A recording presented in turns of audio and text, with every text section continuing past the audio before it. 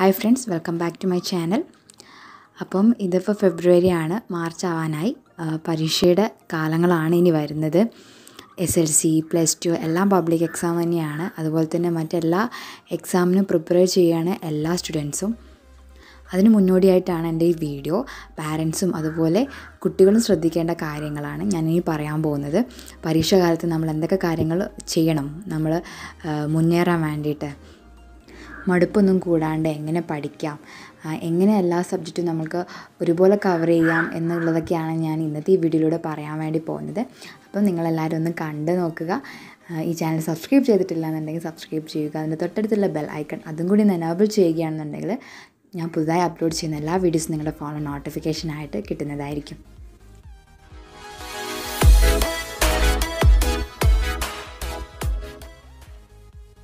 അപ്പോൾ നമുക്ക് വീഡിയോയിലോട്ട് പോകാം. പരീക്ഷ എന്നൊക്കെ പറയുമ്പോൾ തന്നെ അതായത് S L C first public എക്സാമാണ് ഇത് നേരിടുന്ന പല കുട്ടികൾക്കും അതുപോലെ തന്നെ അവരുടെ പാരൻസിനൊക്കെ ഇതൊരു പേടി സ്വപ്നം പോലെയാണ്. പക്ഷെ അതിന്റെ ഒന്നും ആവശ്യമില്ല. നമ്മൾ പഠിക്കുന്ന കാര്യങ്ങളെ ഒരു ഒന്ന് ക്രോഡീകരിച്ചാൽ മറ്റ് ചില കാര്യങ്ങളൊക്കെ പ്രത്യേകം ശ്രദ്ധിക്കുകയാണെന്നുണ്ടെങ്കിൽ നമുക്ക് എക്സാമൊക്കെ നല്ല ഈസി ആയിട്ട് എഴുതാം. അതുപോലെ തന്നെ നല്ല മാർക്കും മേടിക്കാം. S L C plus two plus one ഈ പബ്ലിക് എക്സാം എല്ലാം കൂടാതെ തന്നെ മറ്റുള്ള വിദ്യാർത്ഥികൾ ആനുവൽ എക്സാമിനുള്ള പിന്നെ തയ്യാറെടുപ്പിലാണ്. അതിന്റെ ചൂടിലാണ് എല്ലാവരും. അപ്പോൾ എല്ലാവർക്കും ഒരു യൂസ്ഫുൾ ആയിട്ടുള്ള ഒരു വീഡിയോ ആയിരിക്കും ഇത്. ഈ ഒരു സമയം എന്ന് പറയുന്നത് റിവിഷൻ സ്റ്റാർട്ട് ചെയ്യേണ്ട സമയമാണ്. പബ്ലിക് എക്സാം ഉള്ളവരൊക്കെ ആണെങ്കിൽ തന്നെ പ്രത്യേകം ശ്രദ്ധിക്കേണ്ടത് ഇതുവരെ റിവിഷൻ ചെയ്യാൻ തുടങ്ങിയിട്ടില്ലെങ്കിൽ പെട്ടെന്ന് തന്നെ തുടങ്ങാൻ നോക്കുക. കാരണം നമ്മൾ ഒരു എക്സാം ആകുമ്പോഴത്തേക്കും ഏകദേശം ഒരു മൂന്ന് പ്രാവശ്യമെങ്കിലും നമ്മൾ പാഠഭാഗങ്ങൾ റിവിഷൻ ചെയ്തിരിക്കണം. പഠിക്കുന്ന സമയത്ത് നമ്മൾ എന്താണ് പഠിക്കേണ്ടതെന്ന് ചോദിച്ചു കഴിഞ്ഞിട്ടുണ്ടെങ്കിൽ ചില കുട്ടികൾക്ക് ടഫുള്ള സബ്ജക്റ്റ് അതായത് അറിയാത്ത പാഠഭാഗങ്ങളൊക്കെ വായിക്കാനും അത് മനസ്സിലാക്കിയതിന് ശേഷം അത് പഠിച്ച് ഒരു കോൺഫിഡൻസ് വന്നതിന് ശേഷം മറ്റുള്ള ഈസി ആയിട്ടുള്ള സബ്ജക്റ്റുകൾ നോക്കാനൊക്കെ ആയിരിക്കും ഇഷ്ടം. എന്നാൽ മറ്റ് ചില കുട്ടികൾക്ക് അറിയാത്ത പാഠഭാഗങ്ങൾ വായിക്കാനുള്ള ഇൻട്രസ്റ്റ് ഉണ്ടാവില്ല. അവർ വീണ്ടും അറിയുന്ന ഭാഗങ്ങൾ തന്നെ പിന്നെയും റിവിഷൻ ചെയ്ത് പോവുകയായിരിക്കും. പക്ഷെ ചെയ്യേണ്ട കാര്യം എന്താണെന്ന് വെച്ച് കഴിഞ്ഞിട്ടുണ്ടെങ്കിൽ ആദ്യം തന്നെ സംശയങ്ങളൊക്കെ ക്ലിയർ ചെയ്യണം. റിവിഷൻ സ്റ്റാർട്ട് ചെയ്യുന്നതിന് മുന്നേ അറിയാത്ത പാഠഭാഗങ്ങൾ മനസ്സിലാക്കി അത് അറിയില്ലെങ്കിൽ ടീച്ചേഴ്സിനോട് ചോദിച്ച് അല്ലെങ്കിൽ മറ്റുള്ള കുട്ടികളോട് ചോദിച്ച് മനസ്സിലാക്കിയിട്ട് വേണം റിവിഷൻ തുടങ്ങാൻ. അല്ലാതെ എക്സാം ടൈം ആകുമ്പോൾ അറിയുന്ന കാര്യങ്ങൾ മുഴുവനും പഠിച്ചു കഴിഞ്ഞ് അവസാനത്തേക്ക് അറിയാത്ത ഭാഗങ്ങൾ വെക്കുകയാണെന്നുണ്ടെങ്കിൽ അത് പഠിക്കാനുള്ള ടൈമും ഉണ്ടാവില്ല അത് ശരിയായ രീതിയിൽ മനസ്സിലാക്കാനും കഴിയില്ല. അതുകൊണ്ട് സംശയങ്ങൾ തോന്നുമ്പോൾ തന്നെ അത് ക്ലിയർ ചെയ്യുന്നതാണ് ഏറ്റവും നല്ലത്. റിവിഷൻ ചെയ് തുടങ്ങുമ്പോൾ തന്നെ എല്ലാ സംശയങ്ങളും തീർക്കുക എന്നിട്ട് പഠിക്കാനിരിക്കുക. ക്ലാസ് തുടങ്ങിയത് മുതലേ കുട്ടികൾ അപ് ടു ഡേറ്റ് ആയിട്ട് പഠിക്കുകയാണെന്നുണ്ടെങ്കിൽ ഒഴിവ് വരുന്ന രണ്ട് ദിവസങ്ങൾ ശനി ഞായർ ദിവസങ്ങൾ ആ ഒരാഴ്ചയിലെടുത്തത് മുഴുവനായിട്ട് പഠിക്കുക. അങ്ങനെ ഓരോ ആഴ്ചയും അങ്ങനെ ചെയ്യുക. അതുപോലെ ഒരു മാസം കഴിയുമ്പോൾ ആ മാസം എടുത്ത മുഴുവൻ സബ്ജക്റ്റ് മുഴുവൻ പാഠഭാഗങ്ങളും ഒന്ന് റിവിഷൻ ചെയ്യുകയാണെന്നുണ്ടെങ്കിൽ ഈ ഒരു അവസാന ടൈം ആകുമ്പോഴേക്ക് വളരെ ഈസി ആയിരിക്കും കുഞ്ഞുങ്ങൾക്ക് പഠിക്കാൻ. ഈ ഒരു സമയം മുതൽ കുട്ടികളെ റിവിഷൻ ചെയ്യുന്ന സമയമാണ്. അതുകൊണ്ട് തന്നെ നമ്മൾ ആദ്യം ചെയ്യേണ്ട കാര്യം എന്ന് പറയുന്നത് പഠിക്കാനുള്ള കാര്യങ്ങളെ ഒന്ന് ക്രോഡീകരിക്കുക. എന്നിട്ട് അതൊരു ടൈം ടേബിൾ ആക്കിയിട്ട് മാറ്റുക. എന്നിട്ട് പഠിക്കാൻ ശ്രമിക്കുക. അല്ലാതെ ഒരുപാട് അവിടെയും ഇവിടെയും പഠിച്ചിട്ട് കൊണ്ട് ഒരു കാര്യവുമില്ല. അതുകൊണ്ട് തന്നെ പ്രത്യേകം ശ്രദ്ധിക്കേണ്ടത് ഒരു ടൈം ടേബിൾ ഇതുവരെ കുട്ടികൾ ഉണ്ടാക്കിയിട്ടില്ല എന്നുണ്ടെങ്കിൽ അത് ആദ്യം തയ്യാറാക്കുക. ചില കുട്ടികളുടെ പരാതിയാണ് നന്നായിട്ട് പഠിച്ചിട്ടുണ്ട് നന്നായിട്ട് റിവിഷൻ ചെയ്തതാണ് എല്ലാം മനസ്സിലാക്കി പഠിച്ചതാണ്. പക്ഷേ എക്സാം ഷീറ്റിൽ ശരിയായിട്ട് എഴുതാൻ പറ്റിയിട്ടില്ല. ആൻസർ ഷീറ്റ് നോക്കുമ്പോൾ പ്രതീക്ഷിച്ചത്ര മാർക്ക് കിട്ടുന്നില്ല എന്നുള്ളത്. അങ്ങനെയുള്ള കുട്ടികൾ ചെയ്യേണ്ട കാര്യം എന്ന് പറയുന്നത് നന്നായിട്ട് എഴുതി പഠിക്കുക. എഴുതി പഠിക്കുകയാണെന്നുണ്ടെങ്കിൽ അത് നന്നായിട്ട് ഓർമ്മയിൽ നിൽക്കും. പഠിക്കുന്ന സമയത്ത് പഠിക്കുന്ന കാര്യങ്ങളിൽ പ്രധാനപ്പെട്ട പോയിന്റ്സ് എല്ലാം നോട്ട് ചെയ്ത് വെക്കുക. അതിന്റെ അടിയിൽ അടിവര ഇട്ട് വെക്കുക.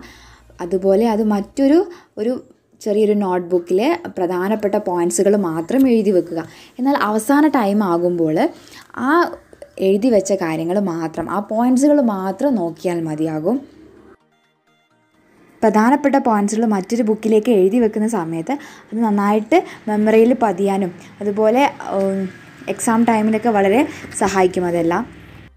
പിന്നെ ചെയ്യേണ്ട മറ്റൊരു കാര്യം എന്ന് പറയുന്നത് സൂത്രവാക്യങ്ങൾ ഇക്വേഷൻസൊക്കെ പ്രധാനപ്പെട്ട ഇക്വേഷൻസൊക്കെ ഓരോ കാർഡുകളിലായിട്ട് എഴുതി വെക്കുക പല കളറുകളിലായിട്ട് എഴുതി വെക്കുക. എന്നിട്ട് ഇടയ്ക്കിടയ്ക്ക് അതൊന്ന് മറച്ചു നോക്കുകയാണെന്നുണ്ടെങ്കിൽ അത് പെട്ടെന്ന് മനസ്സിലേക്ക് പതിയും. പിന്നെ എല്ലാ പ്രോബ്ലംസും ഒരുപാട് പ്രോബ്ലംസ് ചെയ്യാൻ വേണ്ടി പ്രത്യേകം ശ്രദ്ധിക്കുക. മാത്തമാറ്റിക്സിലൊക്കെ ആണെന്നുണ്ടെങ്കിൽ ഒരുപാട് പ്രോബ്ലംസുകൾ വ്യത്യസ്ത തരത്തിലുള്ള പ്രോബ്ലംസുകൾ സോൾവ് ചെയ്യാൻ വേണ്ടിയിട്ട് പഠിക്കുക. അതിന്റെ മെയിനായിട്ടുള്ള കണ്ടന്റ് മനസ്സിലാക്കിയതിന് ശേഷം പഴയ ക്വസ്റ്റ്യൻ പേപ്പറുകളൊക്കെ ഒന്ന് നോക്കിയിട്ട് അതിനകത്തുള്ള പ്രോബ്ലംസൊക്കെ സോൾവ് ചെയ്യാൻ വേണ്ടിയിട്ട് സ്വയം ശ്രമിക്കുക. പിന്നെ ചെയ്യേണ്ട ഒരു കാര്യം എന്ന് പറയുന്നത് എക്സാമിന് പോകുമ്പോൾ എക്സാം ഹാളിൽ കയറിയതിന് ശേഷം ക്വസ്റ്റ്യൻ പേപ്പർ കിട്ടുന്നത് വരെയുള്ള ആ ഒരു സമയത്ത് ഒരുപാട് കാര്യങ്ങൾ ചിന്തിച്ച് വേവലാതിപ്പെടാതെ അതായത് എക്സാമിന് എന്തായിരിക്കും ക്വസ്റ്റ്യൻ പേപ്പറിൽ ഉണ്ടാവുക നന്നായിട്ട് എഴുതാൻ പറ്റും എന്നുള്ള കാര്യങ്ങളൊന്നും ചിന്തിക്കാതെ മൈൻഡ് നന്നായിട്ട് റിലാക്സ് ചെയ്യുക. അതിന് വേണ്ടിയിട്ടുള്ള എക്സസൈസ് ചെയ്യുക. അതായത് ശ്വാസം മുകളിലേക്കൊന്ന് വലിച്ച് സാവകാശം ശ്വാസം പുറത്തേക്ക് വിടുന്ന രീതിയിലുള്ള എക്സസൈസ് ചെയ്യുക. ആ പിന്നെ എക്സാം ഹാളിൽ നിന്ന് തന്നെ. ക്വസ്റ്റ്യൻ പേപ്പർ കൈ കിട്ടുന്നതിന് മുന്നേ തന്നെ. അതുപോലെ തന്നെ പുറത്തേക്ക് പിന്നെ പച്ചപ്പിലേക്കൊക്കെ നോക്കിയിരിക്കുക. മൈൻഡൊക്കെ റിലാക്സ് ചെയ്യാൻ വേണ്ടിയിട്ട് അങ്ങനെയൊക്കെ ചെയ്യുക.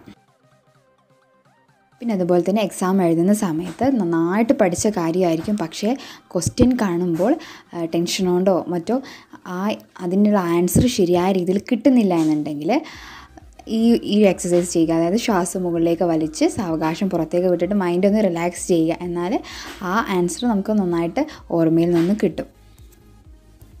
ടെൻഷനൊന്നും ഇല്ലാണ്ട് എക്സാം എഴുതാൻ വേണ്ടി പ്രത്യേകം ശ്രദ്ധിക്കുക. പിന്നെ പാരൻസും കൂടി ഇൻവോൾവ് ആവേണ്ട കാര്യം എന്ന് പറയുന്നത് നല്ല കോൺഫിഡൻസ് കുട്ടികൾക്ക് കൊടുക്കുക. അവരെ നന്നായിട്ട് പ്രോത്സാഹിപ്പിക്കുക. അവരുടെ നെഗറ്റീവ് തിങ്സൊക്കെ നമ്മൾ തന്നെ മറയ്ക്കാൻ വേണ്ടി ശ്രമിക്കുക. അവരോട് അത് കൂടുതൽ പറയാതെ അവരുടെ പോസിറ്റീവായിട്ടുള്ള കാര്യങ്ങൾ അത് നമുക്ക് അവരോട് പറഞ്ഞു കൊടുക്കുക. അവരെ കൂടുതൽ ഒന്നും കൂടി പ്രോത്സാഹിപ്പിക്കുക. പിന്നെ കുട്ടികൾക്ക് സ്വയം ഒരു കോൺഫിഡൻസ് ഉണ്ടാവണം. എക്സാം നന്നായിട്ട് എഴുതാൻ കഴിയും. അതുപോലെ നല്ല രീതിയിൽ ആൻസർ ഷീറ്റിൽ പ്രസന്റ് ചെയ്യാൻ പറ്റും എന്നുള്ളതൊക്കെ കുട്ടികൾക്ക് തന്നെ ഒരു കോൺഫിഡൻസ് സ്വയം വരുത്തുക. അത് പാരൻസ് നന്നായിട്ട് കുഞ്ഞുങ്ങളെ പ്രോത്സാഹിപ്പിച്ച് കൊടുക്കുകയാണെന്നുണ്ടെങ്കിൽ കുഞ്ഞുങ്ങൾക്ക് തന്നെ നല്ല ഒരു കോൺഫിഡൻസ് ഉണ്ടാവും. പിന്നെ ചെയ്യേണ്ട ഒരു കാര്യം എന്ന് പറയുന്നത് പഠിക്കുന്ന സമയത്ത് ഈ ഒരു എക്സാം എഴുതിയാൽ തനിക്ക് കിട്ടുന്ന നേട്ടങ്ങൾ എന്തൊക്കെയാണെന്ന് ഒരു ലിസ്റ്റ് ഇട്ട് വെക്കുക. അതായത് ഈ എക്സാം എഴുതിയാൽ നല്ല മാർക്ക് മേടിക്കാം നല്ല സ്കൂളിൽ നല്ല കോളേജിൽ നല്ല അഡ്മിഷൻ കിട്ടാം എന്നുള്ളതൊക്കെ. ഒരു പിന്നെ അതുപോലെ തന്റെ ഫ്യൂച്ചർ നല്ല ഒരു ഫ്യൂച്ചർ തനിക്ക് കിട്ടണമെങ്കിൽ നല്ല മാർക്ക് മേടിക്കണം അതുപോലെ നന്നായിട്ട് പഠിക്കണം എന്നുള്ളതൊക്കെ ഒരു ചെറിയ നോട്ടായിട്ട് ഒരു ലിസ്റ്റ് ഇട്ടിട്ട് എഴുതി വെക്കുക. എന്നിട്ട് പഠിക്കുന്നതിന് മുന്നേ അതൊന്ന് നോക്കുക. അതുപോലെ ബോറടിക്കുന്ന സമയത്തൊക്കെ അതൊന്ന് വായിച്ചു നോക്കുക. പിന്നെ പാരൻസ് ശ്രദ്ധിക്കേണ്ട പ്രത്യേക കാര്യം എന്ന് പറയുന്നത് സ്ക്രീൻ ടൈം പരമാവധി കുറയ്ക്കുക. ഈ ഒരു എക്സാം കാലത്ത് പരീക്ഷാ കാലങ്ങളിൽ സ്ക്രീൻ ടൈം ടി വി ഒക്കെ നമ്മൾ കാണുന്നത് തന്നെ കുറയ്ക്കുക. പിന്നെ കുട്ടികൾ അത് കാണാതിരിക്കാൻ വേണ്ടിയിട്ട് അവർ അതിനോടുള്ള ഇൻട്രസ്റ്റ് നമ്മൾ വീട്ടിൽ തുറന്ന് വെക്കുകയാണെന്നുണ്ടെങ്കിൽ സ്വാഭാവികമായിട്ടും കുട്ടികൾ പഠിക്കുന്നിടത്തു നിന്ന് അത് കാണാനുള്ള ഒരു ഇഷ്ടം കുഞ്ഞുങ്ങൾക്കുണ്ടാകും അത് നമ്മൾ ഒഴിവാക്കുക. പിന്നെ പഠിക്കുന്ന സമയത്ത് ബോറടിക്കുകയാണെന്നുണ്ടെങ്കിൽ ചെറിയ രീതിയിലുള്ള മ്യൂസിക്കുകളൊക്കെ കേൾക്കാം. പിന്നെ പഠിക്കുന്ന സമയത്ത് വൈറ്റ് നോയ്സുകളൊക്കെ ഓൺ ചെയ്ത് വെക്കുക. നല്ല മ്യൂസിക് മൊസാഡ് മ്യൂസിക്കുകളൊക്കെ വെക്കുക. എന്നാൽ പുറത്തുള്ള പിന്നെ ഡിസ്റ്റർബൻസ് ഒന്നും കുട്ടികൾക്ക് ഉണ്ടാവില്ല അവർ പഠനത്തിൽ മുഴുകും. പിന്നെ പാരൻസ് ശ്രദ്ധിക്കേണ്ട പ്രത്യേക കാര്യം എന്ന് പറയുന്നത് ഭക്ഷണ രീതിയാണ്.